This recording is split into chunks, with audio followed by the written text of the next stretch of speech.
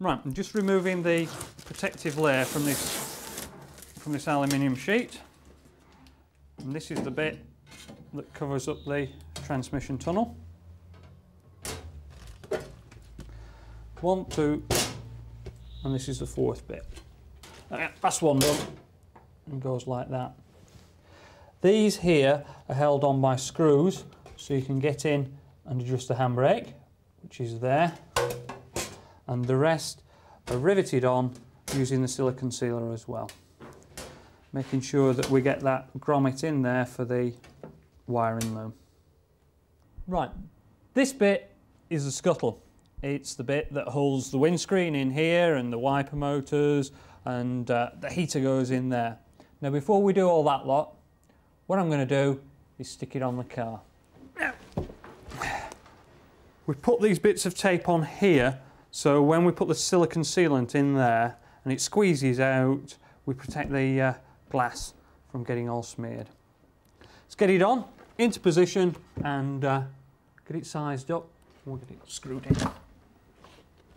Just lift this over the top and plonk it into position there.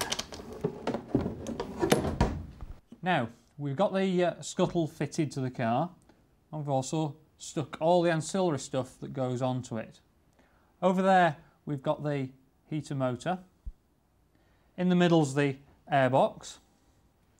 And over this side we've got the expansion tank for the radiator. And then hidden right down here is the purge valve. You know that thing that empties the carbon can at the back that we discussed? Stuck in here. At last the thing's beginning to look like a car. We've got the windscreen on. We've got some mirrors. I think I'm going to have to stop posing in here and get some work done. I think I'll go and get the exhaust popped on.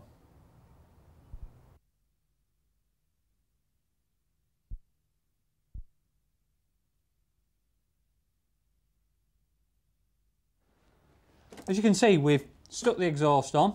That's all now bolted up nice and firm.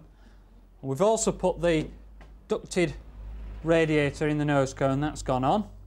And I'm just going to go and trial fit the bonnet, see if it goes on.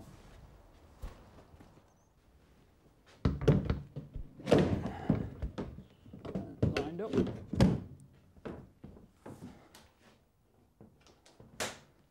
We'll try the boot box as well while we're here. That should just... There we go. It's all neat, tidy. Jobs are good, I think. There we are. That's got, that's got that done. I'll bolt that up later. Let's just have a quick recap on what we've done on Module 5. Stuck the exhaust on, all the cooling systems in, fitted the bonnet, lo and behold the windscreen's on and the mirrors.